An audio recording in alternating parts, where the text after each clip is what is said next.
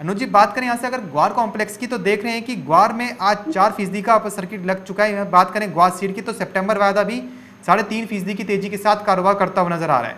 देख रहे हैं कि भावों को तो एक एक बार फिर से खरीदारी निकल के सामने आ रही है ग्वार के अंदर।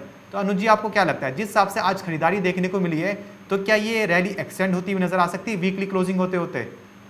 बिल्कुल, देखिए, ग्वार में ट्रेंड पॉजिटिव ही है और हमें दिखा है कि यहाँ पर फ़िज़िकल के अंदर डिमांड बढ़ी है। वादा व्यापार के अंदर ही भाव ऊपर आते हुए दिखाई दिए। हमें लगता है कि ग्वारसिट ग्वारगम में जो ट्रेंड बना है, वो तेज़ी का बना है। क्योंकि यहाँ पे जिस तरीके की तेज़ी रही है और फ़िज़िकल मार्केट में डिमांड देखने को मिल रही है, हमें लगता है कि ग्वारसिट ग्वारगम में जो ट्रेंड है, वो आगे पॉजिटिव रहेगा।